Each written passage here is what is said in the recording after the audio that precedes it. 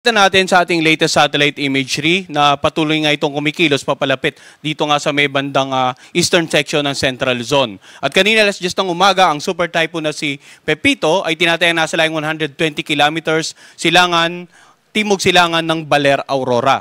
Taglay ni Pepito, ang lakas pa rin ng hangin, umabot hanggang 185 kilometers per hour. At ang pagbugso ng hangin, naabot hanggang 230 kilometers per hour. Ito ay kumikilos sa direksyong northwest naman sa bilis na 20 kilometers per hour. So makikita nga natin dito sa radar image ng ating Baler Station na patuloy nga kumikilos papalapit dito sa lalawigan ng Aurora, ang sentro or ang mata ng bagyong si Pepito. At bukod pa dyan, yung malawak na kaulapan na posibleng magdala ng ulan ay makaka-apekto pa nga previously sa ilang bahagi ng uh, Eastern Visayas at Bicol region. Ngayong araw naman inaasahan natin sa nakararaming bahagi ng Northern and Central Luzon at ilang bahagi ng Southern Luzon area. So ano nga ba inaasahan natin dahil sa bagyong si Pepito? Unahin po natin yung mga wind signal na nakataas sa mga oras nito. Mayroon pa rin tayong tropical cyclone wind signal number 5 dito nga sa may bandang uh, eastern section ng Pulilo Island. Yun ang naka-highlight po ng purple. Samantala, Tropical Cyclone Wind Signal number 4 naman sa naka-highlight ng red sa lalawigan ng Aurora, Quirino, Nueva Vizcaya, dito sa may bandang uh, southern portion ng Ifugao, southern portion ng Benguet, southern uh, portion ng La Union, eastern portion ng Pangasinan, dito sa eastern portion ng Nueva Ecija, dito sa northern portion ng Quezon, kasama nga yung uh, natitirang bahagi ng Pulilo Island at sa may bandang Calaguas Island. Tropical Cyclone Wind Signal number 3 naman ang nakataas sa mga lugar na naka-highlight ng orange. Ito nga yung southern portion ng Isabela, ang natitirang bahagi ng Ifugao, dito rin sa Mountain Province, southern portion ng Abra, sa Ilocos Sur, sa natitirang bahagi ng Benguet, natitirang bahagi ng La Union, natitirang bahagi ng Pangasinan, dito sa northern portion ng Sambales area. Wind signal number 3 rin po ang nakataas dito sa lalawigan ng Tarlac, natitirang bahagi ng Nueva Ecija, northern portion ng Pampanga, sa northern portion ng Bulacan, northern portion ng Rizal, eastern portion ng Laguna. Wind signal number 3 rin sa central at eastern portion ng Quezon at sa western portion ng Camarines Norte. Samantala, wind signal number 2 sa naka-highlight po ng yellow, ito ngay natitirang bahagi ng Isabela, southwestern portion ng mainland Cagayan, sa Kalinga, southern portion ng Apayao, sa natitirang bahagi ng Abra, ganun din sa may bandang Ilocos Norte, natitirang bahagi ng Sambales, sa buong Bataan, natitirang bahagi ng Pampanga, natitirang bahagi ng Bulacan, dito sa Metro Manila, wind signal number 2 rin.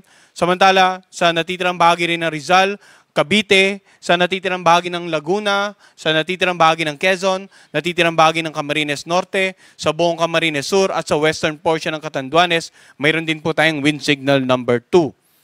Ang naka-highlight naman ng light blue, yan naman po yung mga lugar na may wind signal number 1. So dito sa natitirang bahagi ng mainland Cagayan, natitirang bahagi ng Apayao, sa lalawigan ng Batangas, sa northern portion ng Occidental Mindoro kasama nga ang Lubang Island, northern portion ng Oriental Mindoro, sa northern portion ng Romblon, sa lalawigan ng Marinduque, sa northern portion ng Masbate kasama ang Burias at Ticao Island, sa Albay, sa Sorsogon, at sa natitirang bahagi ng Catanduanes.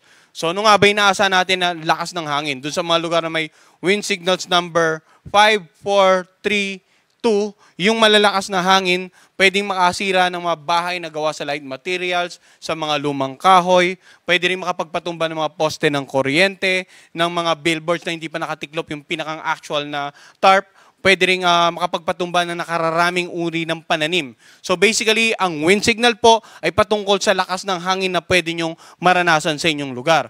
At habang papalapit yung bagyo, umiikli na yung lead time natin. Sa mga lugar na may wind signals number uh, 5 and 4, less than 12 hours na lamang ang palugit natin. Sa lugar na may number 3 naman is uh, 18 hours. Lugar na may number 2, less than 24 hours. At sa lugar na may wind signal number 1, less than 36 hours na lamang.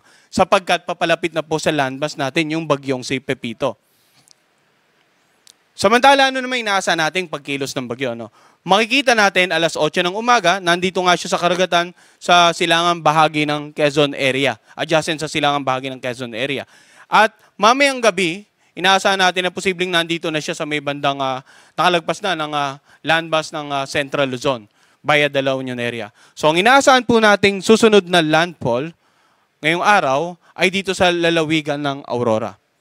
And then, uh, mamayang gabi nga, posibleng nakalagpas na ng landmass, will exit the landmass via the La Union area, at posibleng sa bukas ng umaga or tanghali ay tuluyan ng nakalabas nga ng northwestern boundary ng ating air responsibility.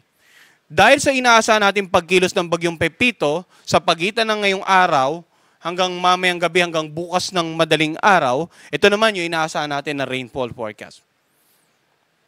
So makikita natin dito na ito yung ngayong umagang tinatayang lokasyon. Mamayang uh, gabi, lagpas na ito ng bandang uh, La Union area, landmass ng uh, ating bansa. At bukas ng umaga, dito sa karagatan sa silangang bahagi ng Ilocos provinces. So, sa pagkilos niyang yan, makikita natin na ilang lugar po sa Central, Northern Luzon at maging sa Southern Luzon area, inaasahan pa rin natin ng more than 200 millimeters of rain. Torrential po yan.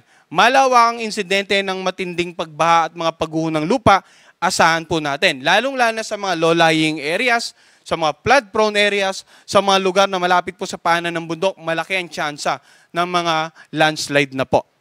So makikita natin, no, yung naka-highlight ng intense to torrential rains, yan po yung lalawigan ng Ilocos Benguet, Pangasinan, Nueva Vizcaya, Quirino, lalawigan ng Aurora at ng Quezon. Samantala, heavy to intense naman dito sa areas na naka-highlight ng orange. Ito ang Isabela, itong Mountain Province, Kalinga, Abra.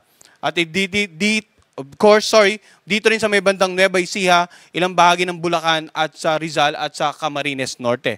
Samantala, yung areas na naka-highlight ng dilaw, moderate to heavy rains naman po yan. Camarines Sur, Catanduanes, Laguna, Bataan, Pampanga, Zambales, Tarlac. Yan po, inaasahan natin na magkakakulan ng moderate to heavy. Ngayon, ano nga ba yung gusto nating ibigay na mensahe patungkol naman sa mga pag-ulan? Nitong mga nagdaang linggo, may mga bagyo nakapekto sa ilang bahagi ng Northern, Central, and Southern Luzon. Maaaring kahit moderate to heavy pa lamang ay magdulot na po ng mga pagbasa inyong lugar. Kaya hopefully sa mga oras na itong pinapanood itong live forecast natin, ay uh, secured na po kayo, nasa designated evacuation centers or nasa mas higher grounds na po sila, lalong-lalo yung mga kababayan natin dito nga sa mga low-lying areas at malapit sa gilid ng bundok at sa mga coastal areas para makaiwas muna tayo sa mga peligro ng mga pagbaha na dulot ng uh, ulan na dala ng bagyong si Pepito. Samantala, yung malakas na hangin at lalo na yung paparating na bagyong si Pepito ay pwede namang magdulot ng storm surge. Dito nga sa lalawigan ng Aurora, Camarines Norte, Pangasinan at Quezon, ng more than 3 meters. Yung naka-highlight ng red po yan, yan po yung mga lugar or coastal areas na pwedeng makaranas ng storm surge na around more than 3 meters. Binanggit po natin. Samantala, yung mga coastal areas na naka-highlight ng uh, orange, mula 2.1 hanggang 3 meters yung posibleng taas ng storm surges. Dito nga sa Albay, uh, Batan, Batangas, uh, Camarines uh, Sur, Catanduanes, Cavite, Ilocos Sur, Isabela, La Union, Marinduque. Sa NCR, First and Fourth District, Pangasinan, Quezon, Sorsogon at Zambales. So bakit napakarami yung mga lugar na may potential na storm surge? No? Dahil pinakita natin nga kanina, simula ngayong araw hanggang mamayang gabi, nandito pa lang yung tinatayang sentro ng bagyong si Pepito. Hanggang bukas ng umaga, nandito na po. Kaya maraming lugar ang inaasahan po nating makakaranas ng uh, storm surge or yung daluyong, pagampas ng malalaking alon sa mga coastal areas. 1 hanggang 2 meters naman sa may bandang ilang bahagi ng Bataan, Bulacan, Ilocos Norte, NCR 3rd District, Pampanga at ilang bahagi po ng Sorsogon area. So kapag may mga ganyan tayong projected na taas ng mga storm surges, ito naman yung mga potential na lugar or mag-inundate or yung magkakaroon ng pagbaha base sa projected na storm surge height sa inyong lugar. So punta po tayo dito sa may bandang uh, area ng Aurora. This is for guidance only, no? Maaring yung maging actual ay magkaroon pa ng pagbabago.